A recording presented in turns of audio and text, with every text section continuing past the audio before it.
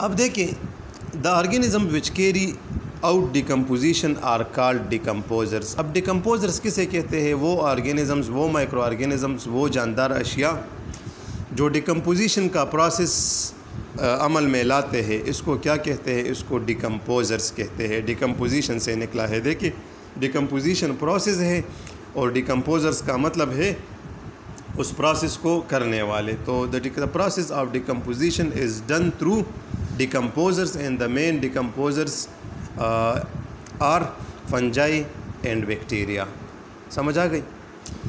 अच्छा the rate of decomposition increase with the increase in temperature and humidity and oxygen देखिए, ये decomposition का जो प्रोसेस है ना, ये ह्यूमिडिटी ह्यूमिडिटी कहते हैं हवा में नमी को, हवा में पानी के मकदार को या एयर ड्राप्स को या एयर वेपर्स के मकदार को, क्या कहते हैं इसको?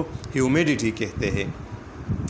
तो जितना हवा में ह्यूमिडिटी ज़्यादा होगी, ऑक्सीजन ज़्यादा होगी और टम्परेचर ज़्यादा होगी मतलब गर्मी ज़्यादा होगी, उतना ही डिकम्पोजिशन का यह प्रोसेस ये तेज़ होगा। तो यही वजह है कि ख़ुराक की जो चीज़ें होती है, वो गर्मियों में जल्दी गल सड़ जाती है, ख़राब हो जाती है स्पॉयल हो जाती है। तभी हम इसको क्या करते हैं फ्रिज में रखते हैं, क्योंकि जितना टम्परेचर कम होगा, उतना ही उस पर बैक्टीरिया और फंगस वगैरह का अमल कम होगा अटैक उस पर नहीं करेगा क्योंकि ये लो टम्परेचर पे अपना अमल वो बरकरार नहीं रख सकता properly so temperature humidity and oxygen some time this process become troublesome for us बस दफ़ा ऐसा भी होता है कि ये प्रोसेस हमारे लिए मतलब तकलीफ़ का बायस बनती है क्योंकि इसके ज़रिए इस प्रोसेस की वजह से ख़ुराक वो जल्दी ख़राब होती है ठीक है वो उनको स्टोर करना आ, मुश्किल हो जाता है.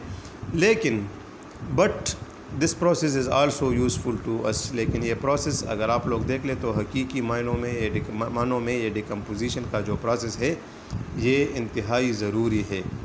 ठीक है? इसके बाद ये यूज़फुल इफ़ेक्ट्स ऑफ़ डिकम्पोजिशन हम पढ़ेंगे तो इसके लिए आप लोग काइंडली जो नेक्स्ट वीडियो हो, वो मुलाहजा फरमाएँ।